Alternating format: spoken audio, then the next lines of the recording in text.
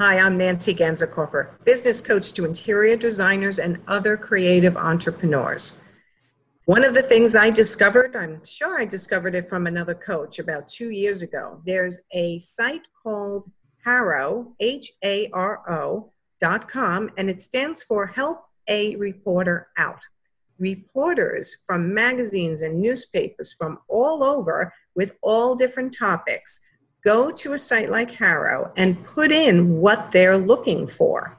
They're looking for an expert in interior design. They could be looking for an expert in seasonal design or holiday decorating or you know how to market yourself efficiently. There's literally every category and I get an email 3 times a day that I can scan really quickly and find out if there is any reporter looking to write an article about what I do best.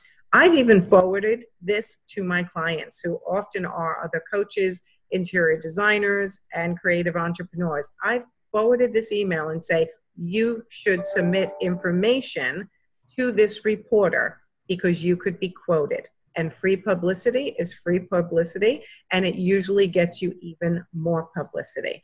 From my publications or what I've applied for in Haro, I've actually been interviewed for other um, magazines, all from being published once. So it's a great way to get yourself out there. Uh, if you want more tips like this, join Actionable Entrepreneurs on Facebook. That's my private Facebook group where I give tips like this every single day.